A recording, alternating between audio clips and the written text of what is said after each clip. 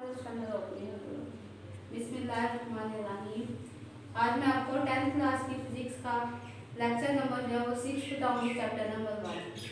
आज का हमारा टॉपिक है टाइप्स ऑफ़ मैकेनिकल वेव्स इससे पहले हमने टाइप्स ऑफ़ वेव्स पढ़ी थी, दो टाइप्स पढ़ी थी, उसकी एक इलेक्ट्रोमैग्नेटिक वेव्स और एक मैकेनिकल वेव्स इलेक्ट्रोमैग्नेटिक में हमने पढ़ा था कि ऐसी वेव्स जिनको किसी मीडियम की ज़रूरत नहीं होती उनको इलेक्ट्रोमैग्नेटिक वेव्स कहते हैं। और मैकेनिकल वेव्स का पढ़ा था कि जिनको प्रोपोगेट करने के लिए या प्रोडक्शन के लिए हमें किसी मीडियम की ज़रूरत पड़ती है, उनको कहते हैं मैकेनिकल वेव्स आज मैकेनिकल वेव्स की ही आगे से हमने दो टाइप्स पढ़ी हैं। एक है ट्रांसफ़र वेव्स और दूसरी होती है लॉन्गिट्यूडनल वेव्स पहले हम देख लेते हैं ट्रांसफ़र वेव्स जो है वो कौन सी वेव्स होती हैं। तो इसकी डिफाइन अगर हम देखें तो ट्रांसफ़र वेव्स कौन सी होती हैं? द टाइप ऑफ़ वेव्स की ही एक टाइप है, type in which vibration of each individual particle of a medium is perpendicular to the direction of traveling waves. यानी इसमें क्या होता है कि जो वाइब्रेशंस होती है पार्टिकल्स की, वो वेव्स की डायरेक्शन के परपेंडिकुलर होती है। क्या मतलब है इसका? कि फ़र्स्ट का है आपके पास एक, हमारे पास एक स्प्रिंग है, जिसको स्लिंकी भी कहा जाता है। स्लिंकी असल में क्या होता है? प्री कंप्रेस हेलिकल स्प्रिंग, यानी इसको आप आसानी से कंप्रेस कर सकते हैं। इसको सबसे पहले इन्वेंट किया था रिचर्ड चैम्स ने 1940 से पहले। तो ये स्लिंकी है हमारे पास एक हमने क्या करना है, यहाँ से मूवमेंट ऑफ़ हैंड अपने हाथ से इसकी मूवमेंट करवानी है, इसको मूव करवाना है। एक एंड इसका फिक्स कर दिया गया किसी भी स्पोर्ट के साथ, और दूसरे हैंड से हमने अपने इसको हाथ में पकड़ के यहाँ से इसकी मूवमेंट करवानी है। जब हम इसको मूव करवाएँगे ऊपर और नीचे अप एंड डाउन मूवमेंट करवाएँगे। तो जब हम इसको ऊपर नीचे मूव करवाएँगे तो इसका कुछ हिस्सा इस तरह से ऊपर मूव करेगा। या सबसे पहले क्या होगा? हमारे हाथ की जो एनर्जी है, जब वो इनके स्लिंकी के क्वाइल्स को मिलेगी तो वो क्या करेंगे? उनकी वाइब्रेशन स्टार्ट हो जाएगी वो एनर्जी भी अगले क्वाइल्स को ट्रांसफ़र करेगा। इसी तरह कॉयल से एनर्जी एक पार्टिकल से दूसरी पार्टिकल तक ट्रांसफ़र होती जाएगी और जहाँ जहाँ एनर्जी पहुँचती जाएगी, वहाँ पर वाइब्रेशन होती जाएगी और वेव्स प्रोड्यूस होती जाएँगी। यहाँ से, जब यहाँ से इनको एनर्जी मिली वेव्स प्रोड्यूस हुई, इस तरह ऊपर की तरफ़। फिर दोबारा से ये नीचे की तरफ़ आएगा, इसी तरह ऊपर नीचे होते जाएँगे और इस तरह स्लिंकी के अंदर वेव्स पैदा हो जाएँगी। अब होगा असल में क्या? कि यहाँ से जब इसको मूव करवाएँगे तो हमारे हाथ की एनर्जी जो यहाँ से ट्रांसफ़र हुई, जिसकी वजह से ये वेव्स बनी है। वेव्स की डायरेक्शन क्या है? इस तरफ़ है। यानी वेव्स इधर जा रही है। और जबकि ये जो वेव की मूवमेंट है, वो ऊपर और नीचे की तरफ़ है। इस तरह अगर हम मूवमेंट को देखें, इसकी ये ऊपर की तरफ़ है और वेव की डायरेक्शन जो है, वो इस तरफ़ है। तो ये सीधा बिल्कुल जो है, जा रहा है इसका मतलब परपेंडिकुलर है। तो परपेंडिकुलर है डायरेक्शन ऑफ़ वेव्स की। यानी वेव्स इस तरफ़ है?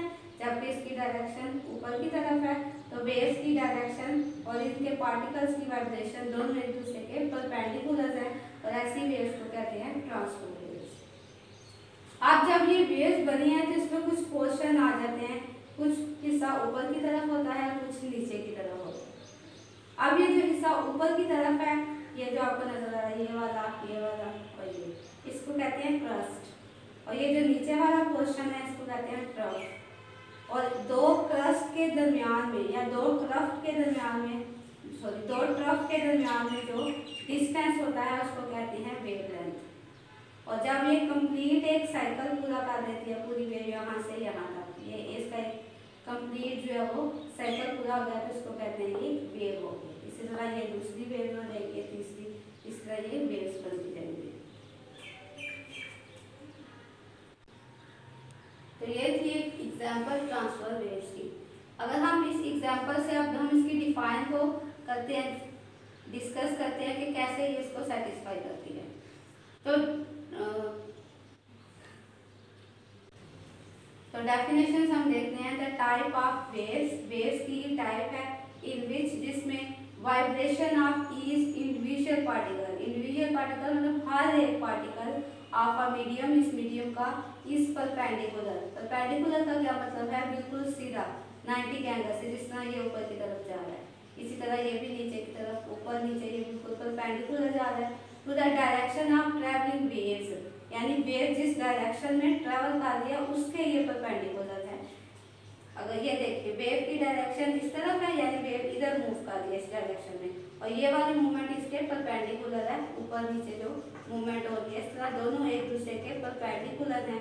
डायरेक्शन ऑफ़ वेव और पार्टिकल्स ऑफ़ मीडियम तो इस तरह ऐसी वेव जो एक दूसरे के परपेंडिकुलर होती है उनको कहते हैं ट्रांसफ़र वेव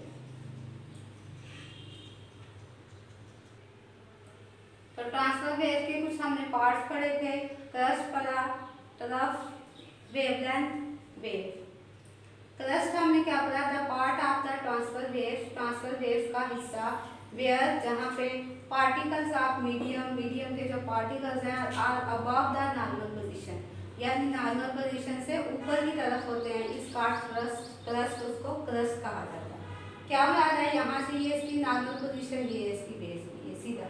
तो ये पार्टिकल्स कहाँ पर जा रहे हैं? अबव द नॉर्मल पोजीशन से ऊपर की तरफ़ जा रहे हैं नॉर्मल पोजीशन से।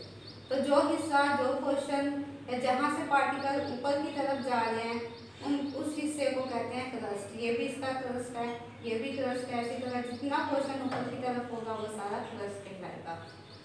अगर तरफ़ the part where the particles of the medium are below their normal position वो वाला हिस्सा जो कि नॉर्मल पोजिशन से नीचे की तरफ़ होगा, उसको बोलेंगे ट्रफ क्या मुराद है यहाँ से अगर हम देखें ये वाला क्वेश्चन ये पार्टिकल्स ऊपर की तरफ़ जा रहे हैं, यहाँ से नीचे की तरफ़। ये इसकी नॉर्मल पोजीशन ये सीधा जो है नॉर्मल पोजीशन है। अब नॉर्मल पोजीशन से ये वाले नीचे की तरफ़ आ गए हैं। इसी तरह इधर से देखेंगे, ये भी नीचे आ रहे हैं। फिर ये ऊपर जा रहा है, फिर नीचे। तो जो नीचे वाला पोर्शन होगा नॉर्मल पोजिशन से, ये हो गया, ये हो गया, ये हो गया, इसी तरह आगे वेव्स बनती जाएगी। तो नीचे वाला जो क्वेश्चन है, उसको बोलेंगे trough wavelength The distance between two consecutive crusts or turf is called wavelength. Wavelength या डिस्टेंस को कहते हैं। डिस्टेंस मतलब फासला। फासला दो क्रस्ट या दो ट्रफ के दरमियान। कंसेप्टिव का क्या मतलब? बिल्कुल आमने सामने जा, जो नज़दीक वाले क्रस्ट है या ट्रफ है। यहाँ से अगर देखें तो ये एक ये क्रस्ट है, एक ये क्रस्ट है। ये दोनों एक दूसरे के नज़दीक है। इन दोनों के दरमियान जो डिस्टेंस होगा, जितना फासला होगा, उसको बोलेंगे वेवलेंथ अगर हम ट्रफ की बात करें, एक ये ट्रफ है, एक ये ट्रफ है दोनों ट्रफ के दरमियान ये जितना भी डिस्टेंस है, इसको बोलेंगे वेव वेवलेंथ और वेव वेवलेंथ को लैम्डा से ज़ाहिर करते हैं.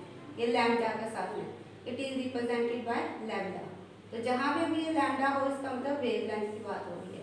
तो दो क्रस्ट के दरमियान भी डिस्टेंस को वेव वेवलेंथ कहते हैं दो ट्रफ के दरमियान भी जो डिस्टेंस है, उसको भी वेव वेवलेंथ कहा जाता है. और दोनों कंजक्टिव होनी चाहिए, बिल्कुल नज़दीक वाली होनी चाहिए. यानी कि एक ये ट्रफ ले रहे एक ये। जब बिल्कुल आमने सामने होगी, नज़दीक होगी, उन दोनों के दरमियान जो फासला है, वो वेवलेंथ होगा।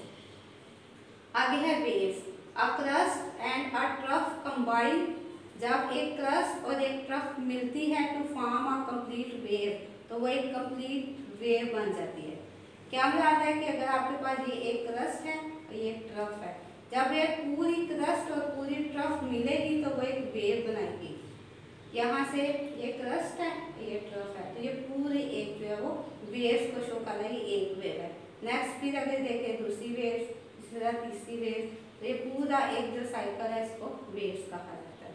तो ये थे ट्रांसफ़र वेव्स के पास नेक्स्ट हम इसके डिस्कस करेंगे लॉन्गिट्यूडनल वेव्स